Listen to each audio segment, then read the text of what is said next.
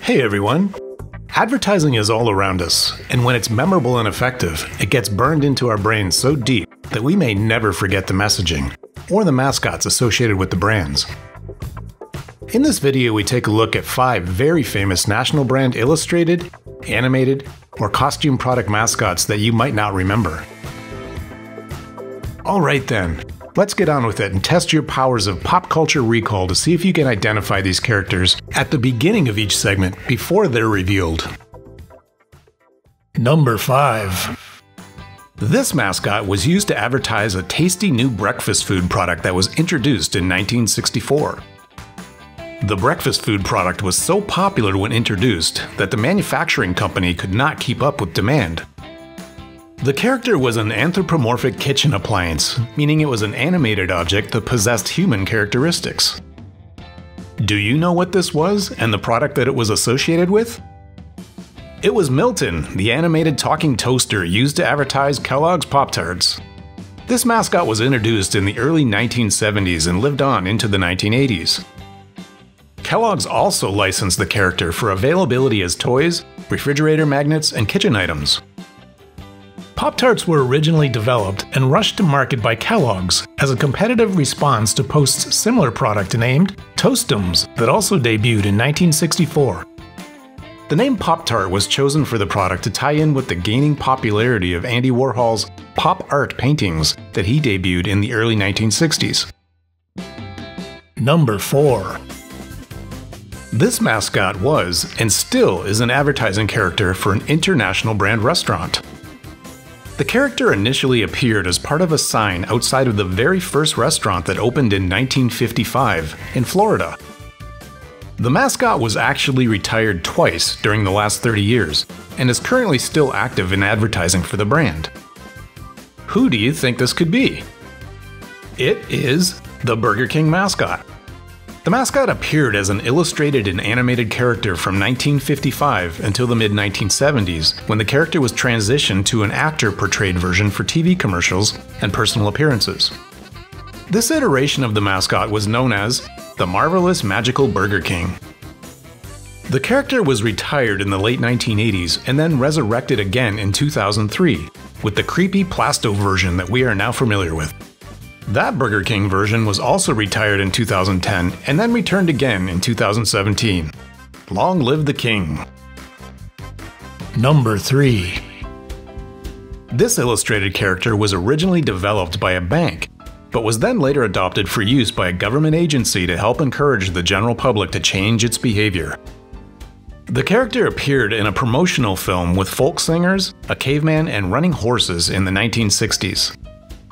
This mascot's nickname rhymed with Trippy and was largely phased out in the late 1970s. Are you confused yet about who this might be? The mascot is Mr. Zip, or Zippy as he was informally named, and was adopted to help the United States Post Office encourage the use of newly introduced zip codes among the general public. The post office even produced a 15 minute long promotional film with folk singers chronicling the history of the Postal Service and how the new zip codes could help your mail get to its destination quickly and efficiently.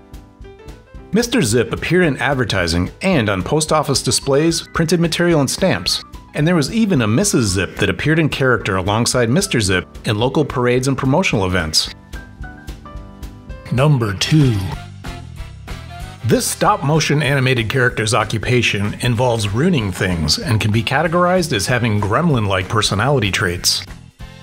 The character was animated for TV commercials by the same studio that animated the California Raisins. Some people became annoyed by this character when it appeared primarily in TV commercials in the 1980s and early 1990s. Can you guess the character? How could we forget the Noid from Domino's Pizza?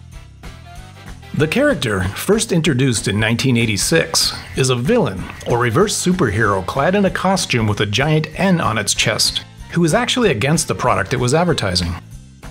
The character caught on like wildfire and helped increase Domino's sales significantly in the 1980s, and also demand for Noid merchandise such as t shirts, plush toys, collectibles, and video games.